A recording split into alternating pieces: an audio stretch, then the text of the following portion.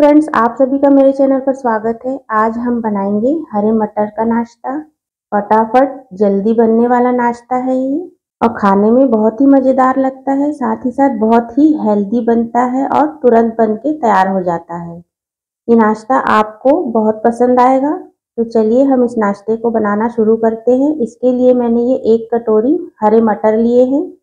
जिसमें थोड़ी सी चीनी और थोड़ा सा नमक डाल के इसे उबाल लिया है, जिससे इसका कलर हरा ही रहे।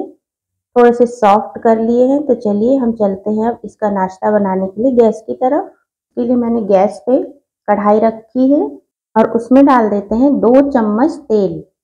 बहुत ज़्यादा नहीं डालेंगे, सिर्फ़ दो चम्मच ही डालेंगे। तेल गरम हो गया है, उसमें डालेंगे आधा चम्मच जीरा और एक चम्मच सफ़ेद तिल। जीरा और तिल के तड़कने के बाद उसमें डालेंगे ये हरे मटर।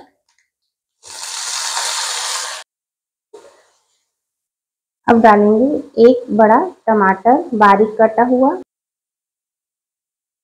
स्वाद के अनुसार इसमें नमक डालेंगे और अब इसको मिक्स कर लेते हैं। ये देखिए टमाटर और मटर को डालने के बाद उसमें हमने थोड़ा सा नमक ऐड किया है तो नमक ऐड करने से इसमें थोड़ा सा पानी आ गया है। ये पानी जब तक सूख जाएगा, हमें इसे पकाना है। पानी के सूखते तक हम इसे सॉफ्ट होने तक थोड़ा सा पका लेते हैं।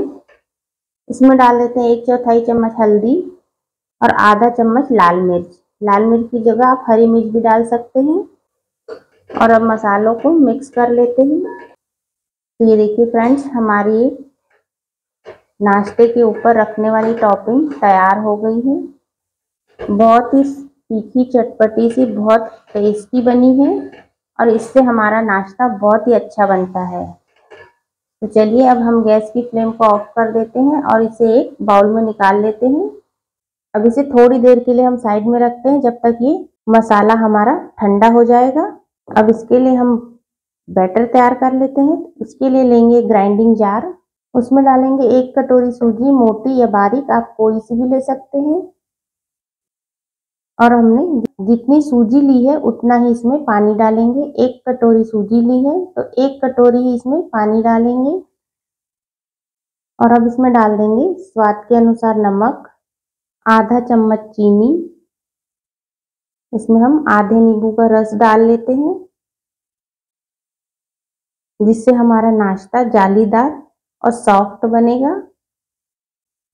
अब इसको हम पीस के, इसका बैटर तैयार कर लेंगे। तो ये देखिए मैंने इसका बैटर बना लिया है। अब इसे एक बाउल में निकाल लेते हैं।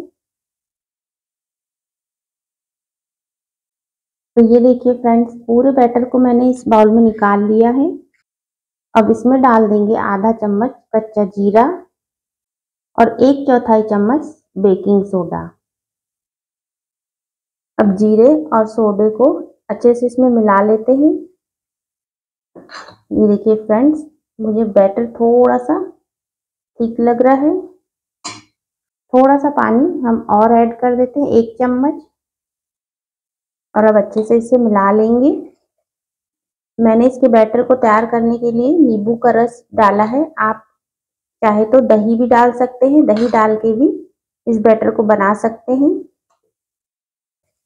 तो चलिए हम नाश्ते का बैटर बनके तैयार हो गया है। अब हम चलते हैं फिर से गैस की तरफ़। तो चलिए, हमारा बैटर भी बन गया है और उसकी टॉपिंग भी बन गई है। तो अब मैंने गैस पे इस पैन को रखा है। उसमें डालेंगे थोड़ा सा तेल, एक से दो चम्मच। और पूरे तेल को इस पैन में फैला लेंगे। अब हमने जो बैटर बनाया था, उसे हम इसमें डालेंगे।